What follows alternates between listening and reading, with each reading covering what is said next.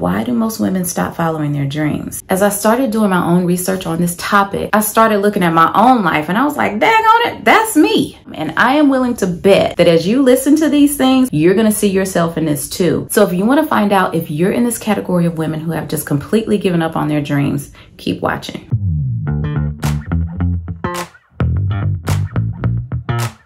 What's up, ladies? I'm Karen. Welcome to Karen Marie Music, a place where you have a network of women inspiring you to dust off your dreams and actually start living them.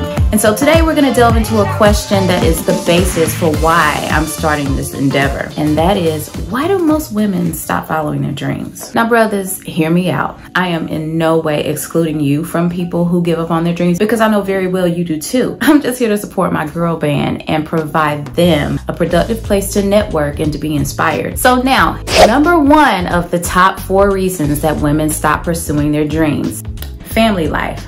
You guys listen, I get it.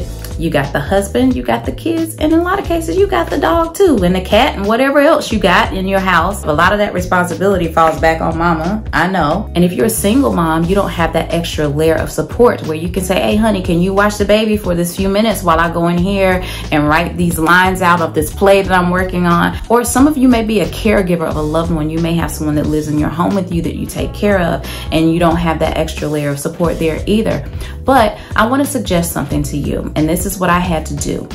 Write down for seven days. Now, seven days, I want you to write down everything that you do from the time you get up to the time you go to bed. And I am willing to bet that you can find a 30 minute pocket of time somewhere once a week that you can work on your craft or that you can work on your dream or that you can even sit down and ask yourself, what is it that I'm supposed to be doing right now?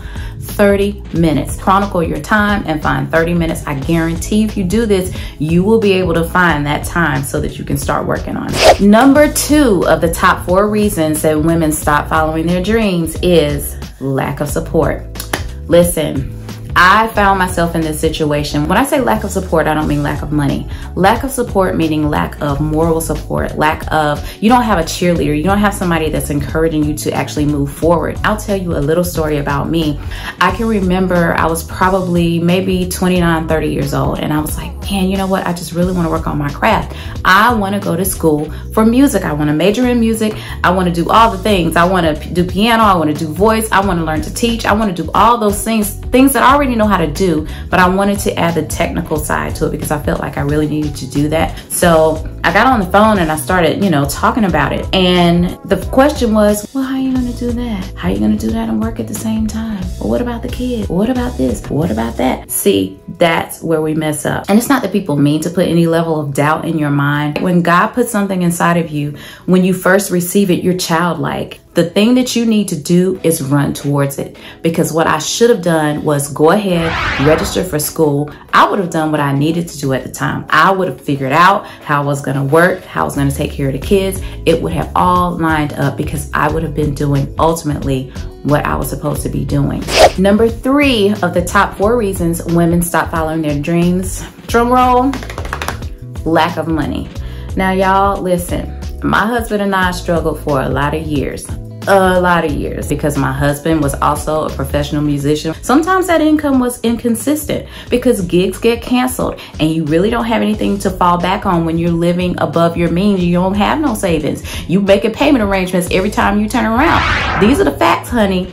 Start living below your means. Figure out how to sell something. Get rid of stuff. I'm telling you, trust me, this is what you want to do because if you don't, you're going to dig your hole deeper and deeper and it's going to be harder and harder for you to focus on those things that you were created to do. Okay, the fourth and final reason that women stop following their dreams is the biggest to me. And that's lack of confidence. I don't know, maybe you were bullied when you were in school. Maybe you're just really very shy. Maybe you had an experience like I had.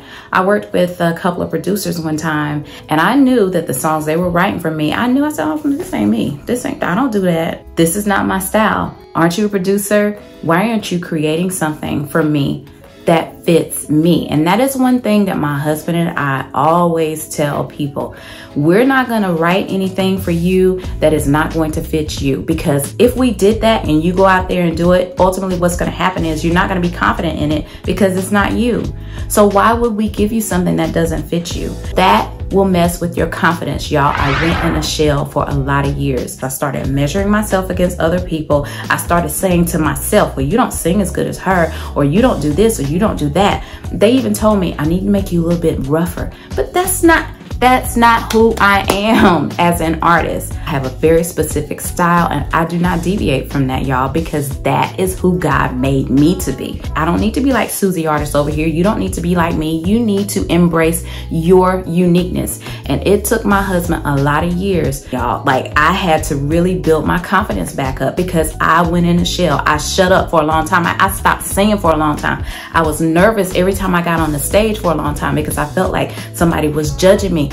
That is why you have to find the right producer. And that's why I'm glad you're here. So let's just recap the top four reasons that you stopped working on your dreams family life, lack of support, lack of money, and lack of confidence. We're gonna build all that back up. I don't care what it is you wanna do. If you wanna sing, if you're a songwriter, if you are a producer, you just can't find the right artist, if you are a playwright, if you wanna do spoken word, if you're an author, anything to do with performing arts, I'm your coach. I got you. So, what I want you to do now is comment below. Let me know which of these four things hit you the hardest hardest. If all of them hit you hard, girl, tell me all of them hit you hard because we're gonna work on that. But you know what you gotta do?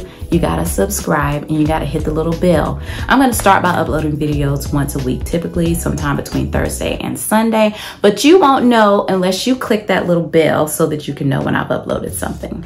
So Thank you all for spending this time with me, my first video. I'm excited about it and I'm excited about your journey and I'm here to help you. So I'll see you guys next week. Bye.